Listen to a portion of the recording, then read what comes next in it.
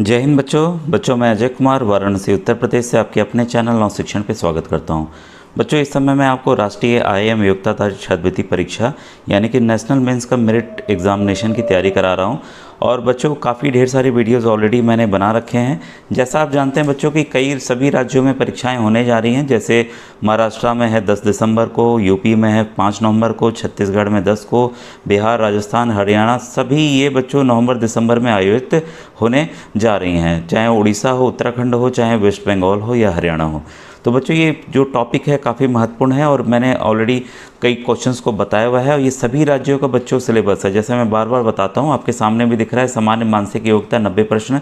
आप अपने राज्य का भी देख सकते हैं सिलेबस उसमें हर एक दोनों में ये चीज़ें सेम रहती हैं सेट और मैट के नब्बे नब्बे प्रश्न आते हैं। तो बच्चों, मैंने ऑलरेडी आपको कुछ क्वेश्चन बता दिए थे और ये जो कुछ टिपिकल क्वेश्चन हैं इन प्रश्नों को कैसे हल करें, आइए आज के वीडियो हम लोग इसको समझते हैं। बच्चों, इसके पहले बताना चाहूँगा, एक व्हाट्सएप ग्रुप बना हुआ है डिस्क्रिप्शन में लिंक मिल जाएगी, लगभग 6000 से ज़्यादा बच्चे ऑलरेडी जुड़े हुए हैं तो आप भी जुड़ के फ्री तैयारी कर सकते हैं। अभी उसमें मैं मॉडल पेपर भी आपको उपलब्ध कराऊँगा। ठीक है? और दूसरी बात ये कि बच्चों प्लेलिस्ट ज़रूर देखिए। कई बच्चे पुराने, मैं सॉल्व पेपर भी दिखा रहा हूँ तो आप देख रहे होंगे कि काफ़ी पुराने प्रश्न दोहरा के फिर से आ रहे हैं। तो उन पेपर्स को आप ज़रूर देखिए, जो लास्ट ईयर के मैंने बताए हुए हैं, समझाए हुए हैं। हर एक टॉपिक को कवर कीजिए, क्योंकि मॉडल पेपर उतना ही इंपॉर्टेंट है। अब देखिए बच्चों क्वेश्चन नंबर 54 सॉल्व करने का मैंने कई बार तरीका बताया है कि आपको कैसे करना है। सबसे पहले अल्फ़ाबेट वाले जो भी प्रश्न आए, आपको ए से लेकर एम तक और एन से लेकर जेड तक इस तरह से अपोजिट लिख लेना है। यही एग्जामिनेशन पेपर में पीछे की तरफ़ आप लिख लीजिएगा, ठीक है?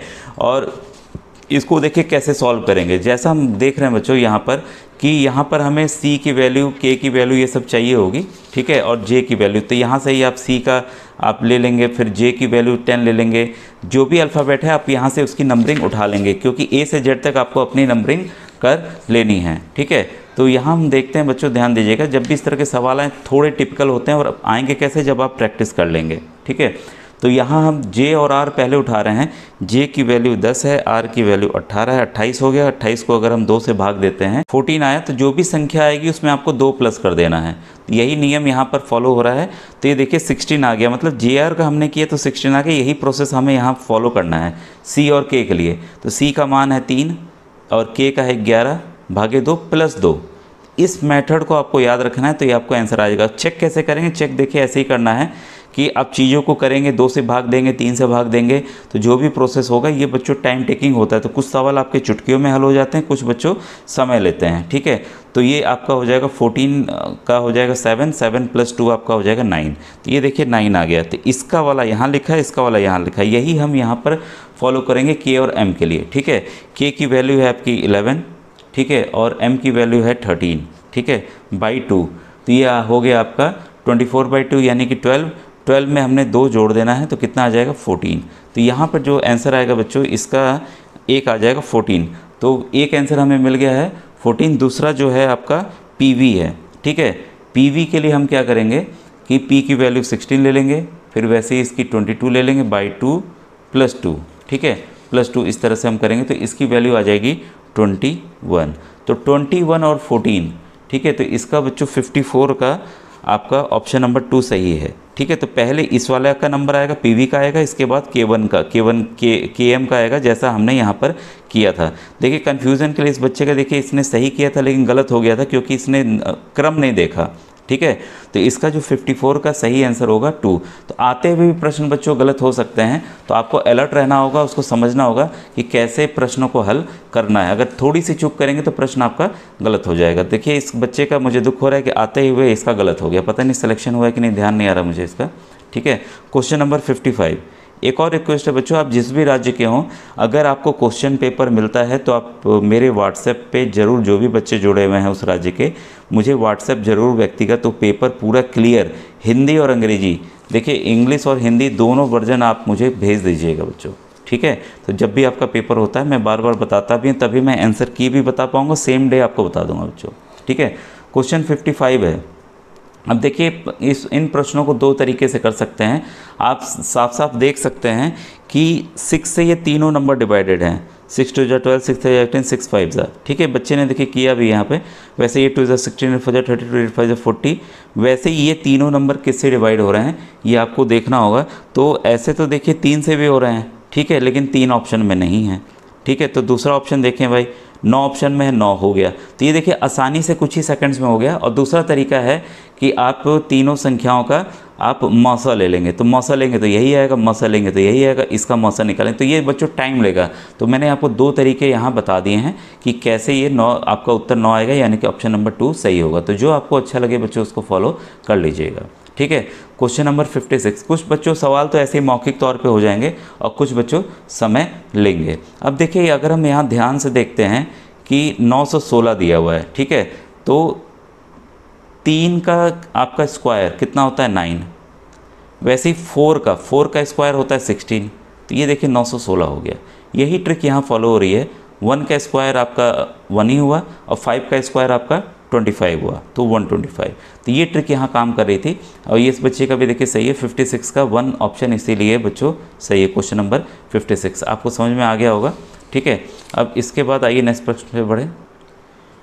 बच्चों, इन प्रश्नों को हल करने के लिए थोड़ा सा समय और प्रैक्टिस की ज़रूरत है, ठीक है? इसीलिए देखिए ये राघव प्रकाशन की बुक भी दिखाया है मैंने उस पर थंबनेल में। तो ऑनलाइन भी उपलब्ध है, बस आप लिख देंगे N M M S Ajay Kumar या राघव प्रकाशन तो ये बुक आपको मिल जाएगी फ्लिपकार्ट अमेजोन पे। अब देखिए, इस सवालों को करना कैसे है? ये सवाल बच्चों, इसमें संख्याओं को क्या कर लेना है? क्वेश्चन नंबर 57 में। संख्याओं को आपको जोड़ लेना है, ठीक है? तो 25 प्लस सत्रह कर लीजिए, कितना होगा? 25 और 17 25 और 17 हुआ 42 ठीक है? 42 को हमें क्या करना है कि अब ये हिट एंड रन से आएगा। सोचना है ये जो सिक्स दिया हुआ है, कैसे आया? तो सिक्स से अगर हम डिवाइड करते हैं तो हमें सेवन मिल गया। यानी कि सेवन से हमें डिवाइड करेंगे तो ये उत्तर हमें सिक्स मिल जाएगा। यही बच्चों यहाँ पर करना है। एटी नाइन और सिक्सटीन को जोड़ लीजिए, एक सौ पाँच आया और सात से भाग दे दीजिए। ठीक है? तो ये आ जाएगा आपका पंद्रह। या ठीक है? तो ये आपका ऑप्शन नंबर इसलिए बच्चों 57 का ऑप्शन नंबर टू इस प्रकार से सही है। तो ऐसे ही बच्चों हिट एंड ट्रायल आपको करना पड़ेगा। ये क्योंकि मैंने हल किया हुआ इसलिए मुझे पता चल रहा है। ऑलरेडी ये बच्चों सॉल्व है, ठीक है? और ये आपको करने के लिए बच्चों प्रैक्टिस चाहिए होगा। प्रैक्टिस के लिए आपको जितने मॉडल पेपर मैंने बताए हैं, उसको भी देख लेंगे। अगर आप बुक नहीं ले पाते हैं, तब भी आपकी तैयारी बच्चों अच्छी हो जाएगी। अब देखिए, ये इस सवाल, इस तरह के सवाल भी सोचना पड़ता है, आएगा कैसे? जो चारों संख्याएँ दी गई हैं, दो दो, तीन और चार। आपस में गुणा कर दीजिए, ठीक है? आपस में गुणा कर देंगे हम तो ये आपका आंसर आ जाएगा, ठीक है? वैसे ही इन संख्याओं को आपस में गुणा कर दीजिए, आपका तो ये आपका two into four into two into ये टू ठीक है? तो ये आपका आ जाएगा आंसर बच्चों फोर्टी एट तो इसलिए इसका देखिए ऑप्शन नंबर फोर सही, बस गुणा करना है थ्री टू जै सिक्स सिक्स सिक्स फोर जा twenty four twenty four two जै फोर्टी एट तो काफ़ी आसान था ठीक है? इसके बाद देखिए क्वेश्चन नंबर फिफ्टी नाइन इसको कैसे हल करेंगे?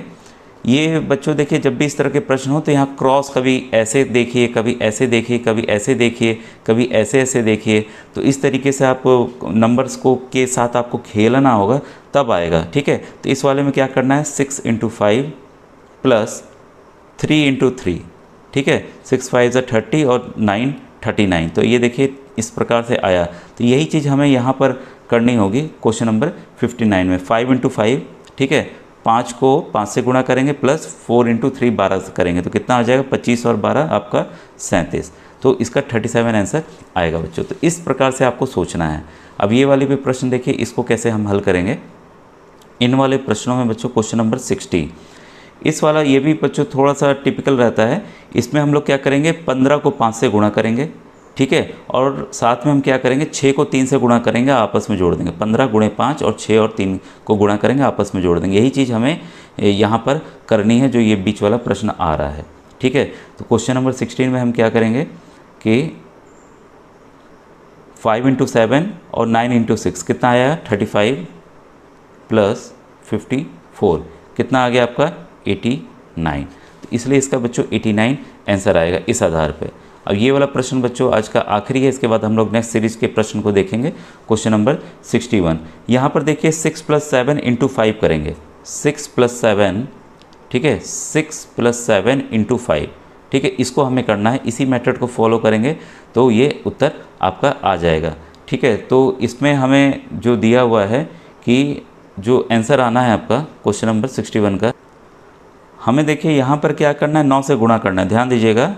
हमें नौ से गुणा करना है, ठीक है?